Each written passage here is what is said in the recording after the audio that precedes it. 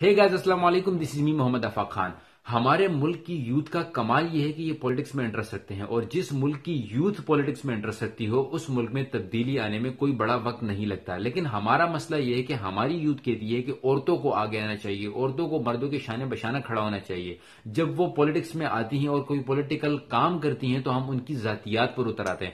ابھی ریحام خان نے کہا کہ میں نے پاکستان آنے کی دعوت قبول کر لی۔ مجھے نہیں پتا کہ کیا یہ خبر سچی ہے یا غلط ہے، لیکن اس کا ریئیکشن یہ ہوا کہ تمام لوگوں نے یہ کہنا شروع کر دیا کہ یوتھیوں کی اما آنے والی ہے، پی ٹی آئی والوں کی ماں پاکستان آنے والی ہے، جس کے ریئیکشن میں پی ٹی آئی والوں نے پی ایم ایل این کی خواتین کی عزت کے ساتھ کھیلنا شروع کر دیا۔ اور ہم لوگ اس کو پالیٹکس انداز میں لیتے ہیں۔ مطلب ہم لوگ اتنے گر چکے ہیں کہ ہم کسی کی ماں بہن کی تصاویر فیس بک پر ڈال دیتے ہیں اور ہم یہ کہتے ہیں کہ ہماری پارٹی والے تو بڑے اچھے ہیں۔ ہم مطلب ہم فحاشی پھیلا رہے ہیں اور یعنی پھیلا رہے ہیں، لیکن ہم یہ سمجھ رہے ہیں کہ ہم یہ پالیٹکس کھیل رہے ہیں۔ عائشہ گلالے نے جب عمران خان پر الزامات لگائے تھے، تو ہم نے عائشہ گلالے کو تو گالیاں دی ہی دی اس کے ساتھ ان کی بہن کی تصاویر بھی فیس بک پر ڈالنا شروع کر دی، جن کا دور دور سے پولیٹکس سے کوئی کنیکشن ہی نہیں تھا۔ جب ہمارے پاس کچھ نہیں ہوتا تو ہم لوگ کسی پارٹی کے منسٹر کی، ماں کی، بہن کی، بیوی کی بتیجی کی تصاویر اٹھا کر کہتے ہیں، یہ دیکھو یہ لوگ تو کتنے بہ آئے ہیں۔ کسی کی بہن اور ماں کی تصویر اپلوڈ کرنے سے پہلے ہم ایک منٹ کے لیے بھی نہیں یہ سوچتے کہ اگر ہمارے ساتھ کسی دن ایسا ہو گیا تو ہم پہ کیا گزرے گی، ہم کیا فیل کریں گے۔ اور یہی وجہ ہوتی ہے کہ بہت سارے لوگ اپنے لیے ذاتی دشمنی خود ڈھونڈ نکالتے ہیں۔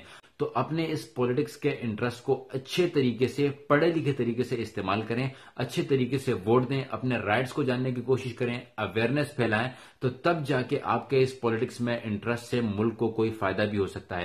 اگر ریحام خان کی بیٹی کہیں ناچ رہی ہے، اگر Pakistan peoples party M Q M P M L N جتنی بھی پارٹیز ہیں، ان کی کوئی بھی خاتون کچھ بھی کر رہی ہیں تو وہ اس کا اپنا ذاتی کام ہے۔ میرا اور آپ کا کوئی حق نہیں بنتا کہ اس کی وہ ویڈیو وائرل کریں، کیونکہ ہم کسی خاتون کی عزت کے ساتھ کھیلیں گے۔ وہ کھیلے کھیلے، لیکن اگر ہم یہ کام کریں گے اور دوسری بات یہ کہ ہم اوریانی اور فحاشی پھیلانے کے ذمہ دار بھی ہوں گے، جس طریقے سے ہم نے کندیل بلوچ کو بنا کے مروایا، اسی طریقے سے ہم صرف اور صرف پالیٹکس میں چند لوگوں کا منہ بند کروانے کے لیے ووٹ دینے کے بجائے، کسی اچھی بات کے ساتھ آنے کے بجائے ہم ان کی پارٹی کے خواتین کی تصاویر اپلوڈ کریں گے تو میرے خیال میں ہم سے بڑا کوئی بغیرت کوئی نہیں ہوگا۔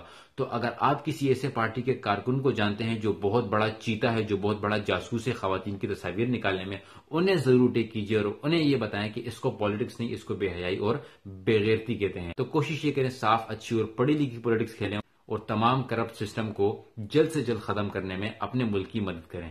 Thank you very much take care and اللہ حافظ۔ آخر میں ایک بات کلیئر کرتا چلوں کہ میں نے اینڈ تک یہ نہیں سوچا تھا کہ میں اس ویڈیو کا ٹائٹل کیا دوں گا، لیکن پھر میں نے یہ سوچا کہ میں ٹائٹل دوں گا ریحام خان یا جمائمہ اور مریم نواز ایکسپوز کسی خاتون کا نام لے کر ایکسپوز لکھوں گا تو ویڈیو کے ویوز بہت زیادہ آئیں گے۔